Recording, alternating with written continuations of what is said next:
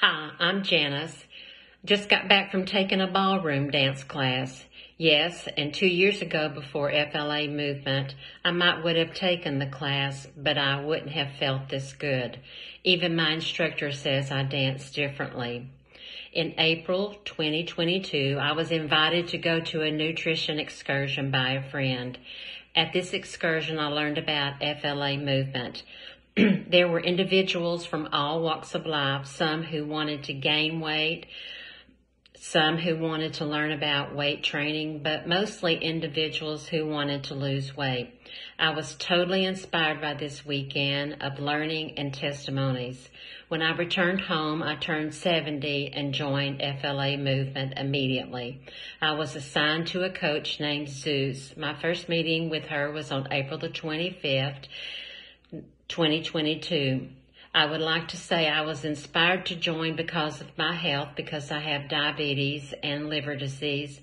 But truthfully, I wanted to lose weight to be able to walk into a room without putting my pocketbook over my stomach to cover up. See, I am a food addict and I had to look at this journey the same as an alcoholic might go through detox. Through the years, I had been on every diet possible, keto, Weight Watchers, numerous times, whole 30, low fat, low carb, etc. Sure, I would lose, but I would always gain it back. Initially, my goal was to lose 75 pounds. As time went by, my desire for better health kicked in, and coming off the eight medicines I took became very important to me. I met with my coach Zeus on a weekly basis. We talked about different subjects. One week it might be macros or proteins, meal prep, customize what you eat, work out, recalibrate your mind regarding eating, basically the fundamentals of nutrition. But some weeks we might talk about what is going on in my life that might have sent me back that week. I look forward to our meetings like, like she was my counselor.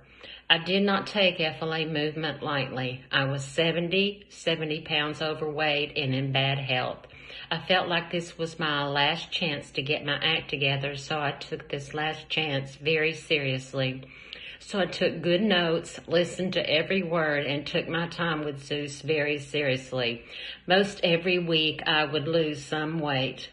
One year later, I'm back at the excursion and I was able to give my testimony of losing 62 pounds in one year.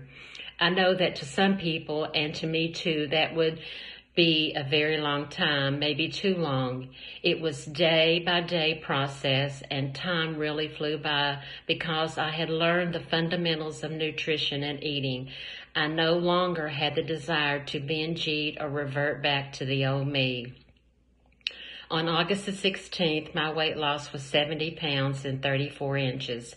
I have been on maintenance since then, and to be honest, I have gained a little here and there, mostly because of traveling. But when I am home, I can't wait to get back on the plan.